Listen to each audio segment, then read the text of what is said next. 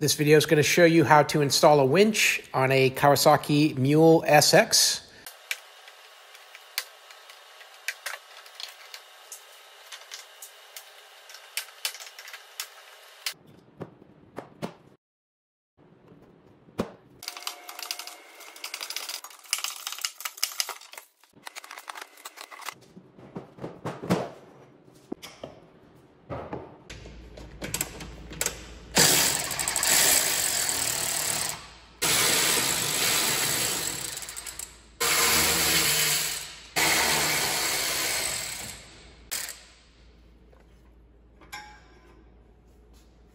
All right, so here's what we got.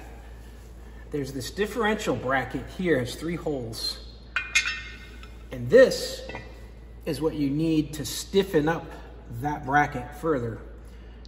With these three bolts, that'll come up from the bottom through this differential bracket and then attach this mounting plate to the mule. So this is what's holding the winch, everything on. And this bracket is a genuine Kawasaki part that works with all the Warn uh, winches uh, because they keep the same bolt pattern. And uh, so it's important that you'll know this will fit because it's the one designed for the SX and for any Warn winch. So interesting thing is I've got to get this underneath here and there is no easy way to do that. I guess that way. Then I gotta figure out how to get these bolts up and through and onto this. So, yeah, that ain't gonna work. So I'm thinking this, this rotation is intended, intended that they intend for you to remove these four and rotate this up, put those bolts, rotate it back down. I'm making this too hard.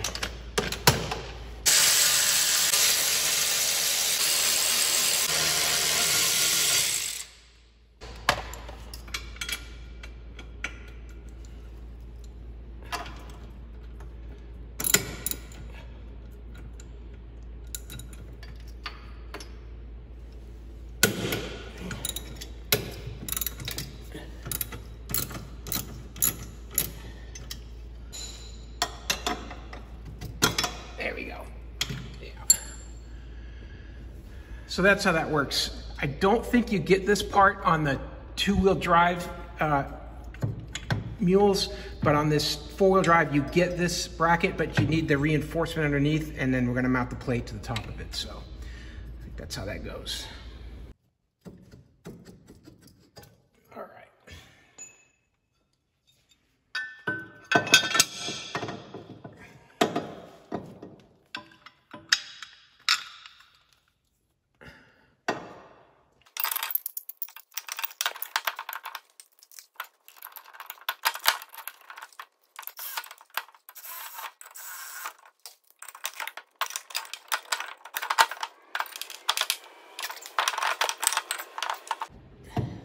Differential pin back in.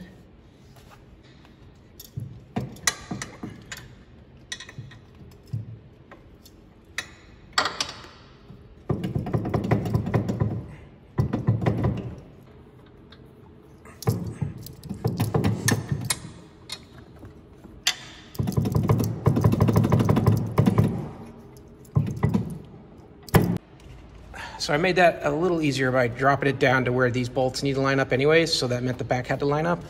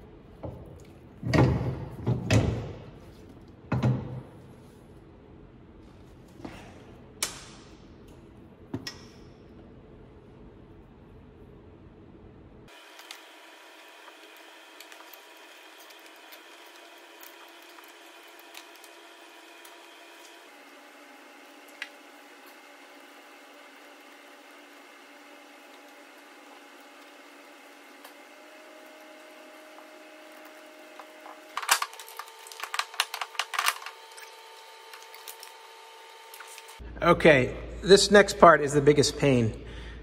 You've got four bolts that need to come up through the big plate here and into the base of the winch.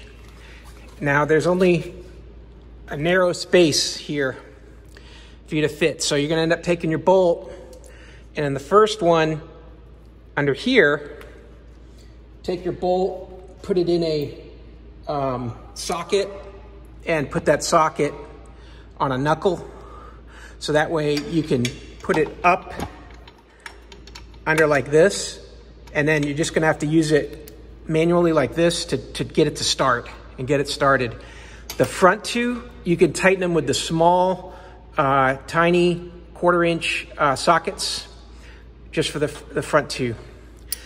The back two, you're, they're, you're gonna have to feed them in there you might be able to use the knuckle to get them started, especially the one on the, on the driver's side. But the one on the passenger side, the bolt from that hinge gets in the way. So you could remove that bolt. It might make it easier uh, to get up through with the socket. But the other way to do it is to take your 13 millimeter wrench, but you got to have the kind that ratchets like this. And then you go straight in.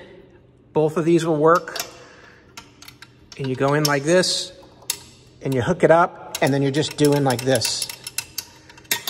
And you can only get a couple clicks on each side, but you'll tighten them down and that thing will be rigidly tightened down.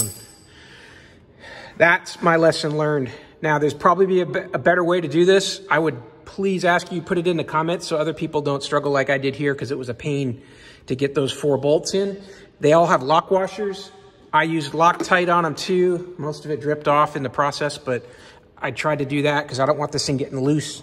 So tighten it as best you can. I can already tell that getting four of these up into the winch is not gonna be easy, so I'm gonna take off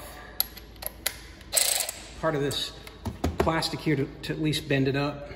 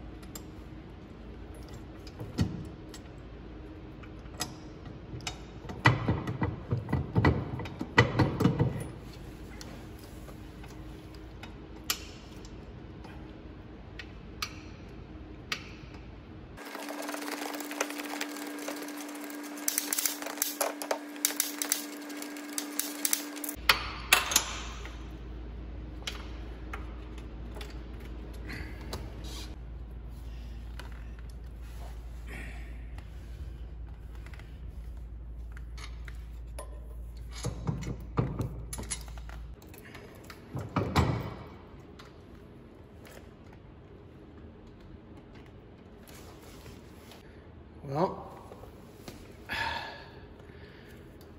gonna try to loosen these four and see if I can rock it up at all.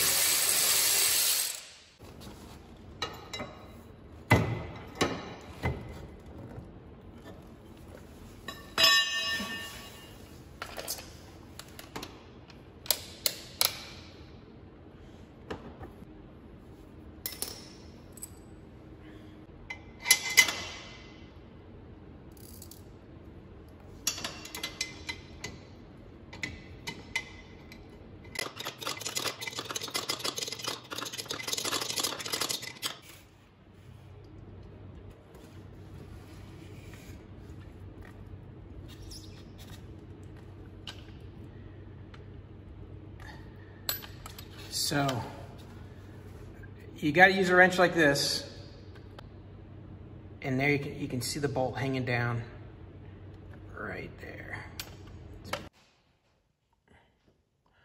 There's the bolt. You can just barely see it there. And so using an open end wrench with this ratcheting with this ratcheting end on it, I can slide that in there.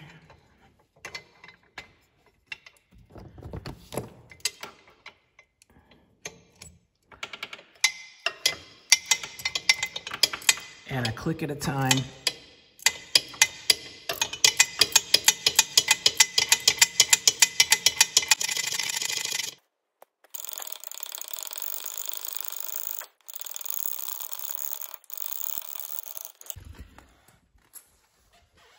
Let's get this other side.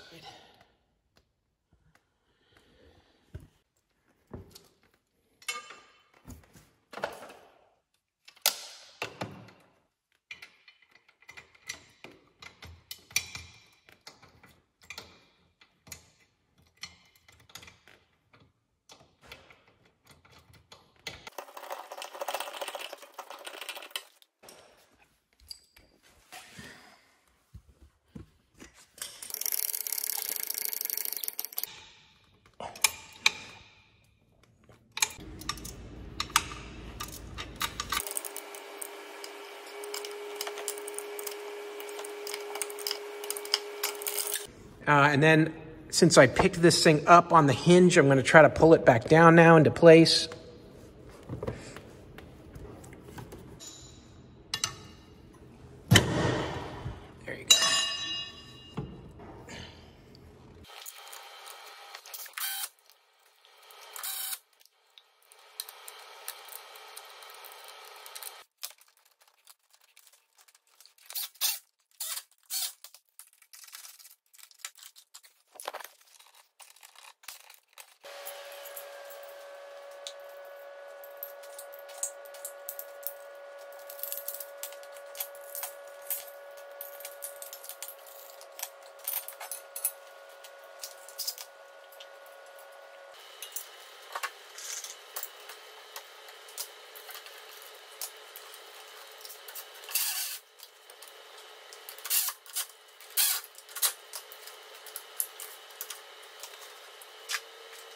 Now to install our button here, we're going to need to cut out these knockouts, at least one of them for your winch. I'm just using a razor blade. Just go in about an eighth of an inch and then just push down.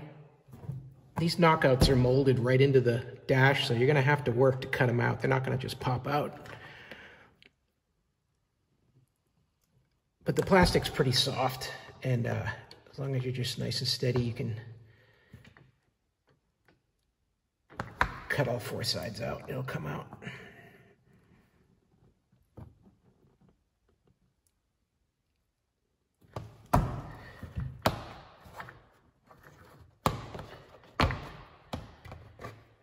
There you go.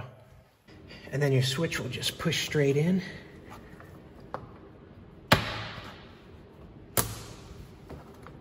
And then lock into place. Then go ahead and plug that control uh, plug into the back of the button. Something you'll notice that's connected to the uh, control cable is this red wire and it's got a seven and a half amp fuse in line. I removed this because this, this power line, it needs to go to switched power. So I'm gonna put it down there to my fuse box, which has got switched power. And then that's gonna allow me um, to manage the fuse down there. I don't, I don't wanna have to dig for this under the hood if this thing blows. So I'll have a seven and a half amp fuse down at my fuse box.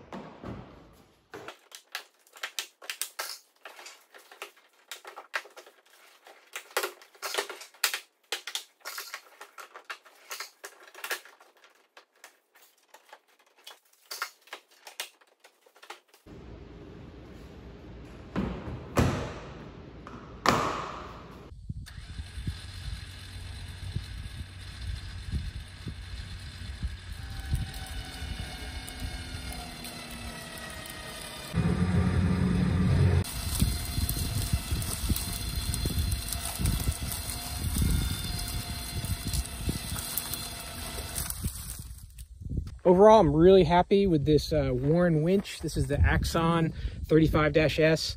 Uh, looks great in this mule, fits just right, really compact and tight with a lot of power packed into that small winch. And uh, yeah, hope this, uh, this video is helpful for you to learn how to install it in your Mule SX. And uh, hope this helped. Hey, have a great day.